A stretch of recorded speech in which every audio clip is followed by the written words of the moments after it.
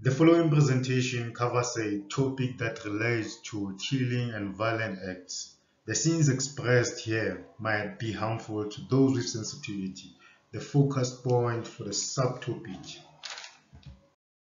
The research question lies in the causality of both genocide with reference to East Timor and Rwanda. This research aims to raise historical consciousness,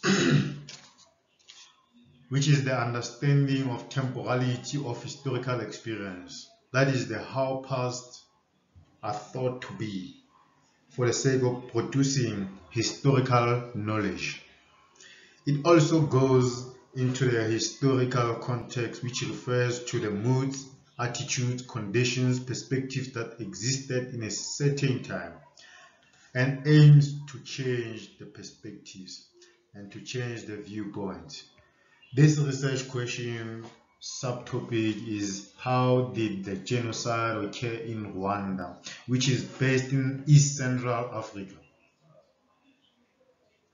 Not only East Central Africa, but it is in the borders of Uganda and also East Timor, which is located southeast of Asia on the southmost north.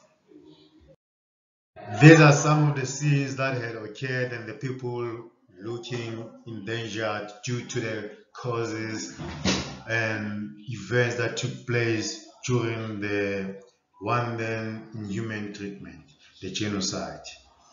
This was only contextualized in terms of the Rwandan tribes being fighting against one another. The, the least dominant part being the Tutsis going on to war with the majority of the population, people that make the majority of their populations. This is another image by Tubel which was posted in 2013 that shows the reaction how, of how kids felt or how low they were at the time. Each and every writing has an essential quality. This writing's essential quality is the exploration of the social, economical, and political aspects which led to the genocide. The methodology that we're going to use is recontextualization of Rwandan genocide commentary. And then for East Timor, we're going to de decontextualize how events occurred that time. The aim of this research is to get rid of dominant narratives. This research will use a comparative method.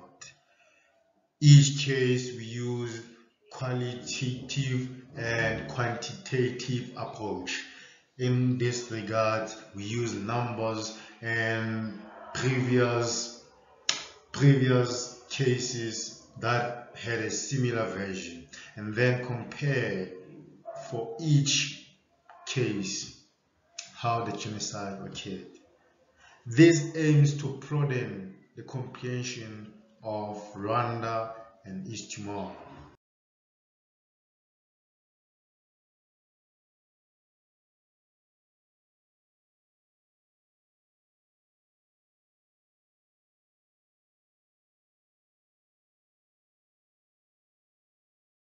This research intends to realize the approach by making use of case-orientated behavior and also making use of secondary data due to the fact that some of the victims could not make it and the data that we have is only from secondary sources.